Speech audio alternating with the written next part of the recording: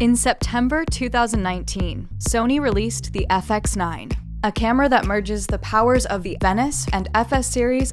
This camera gives you the power of full frame in a handheld camera, enabling you to capture beautiful 4K imagery with shallow depth of field and stunning bokeh with a cinematic look.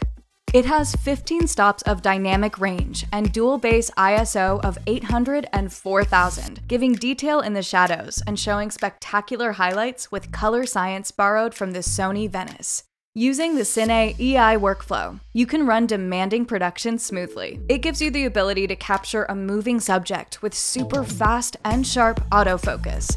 And don't just take our word on it. It's been tested by lots of filmmakers. And with the electronic ND filter and four channels of audio control, you can shoot fast, on the go, and all by yourself.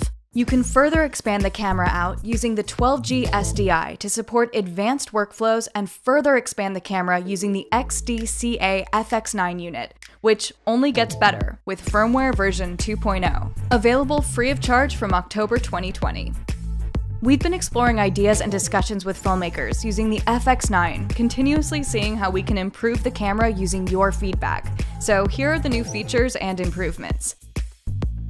With S700 PTP remote control feature, you will be able to control the FX9 remotely, giving you the choice and flexibility to work with other different types of cameras, such as Studio Type System camera, that enables to unleash the creativity of rich content creation.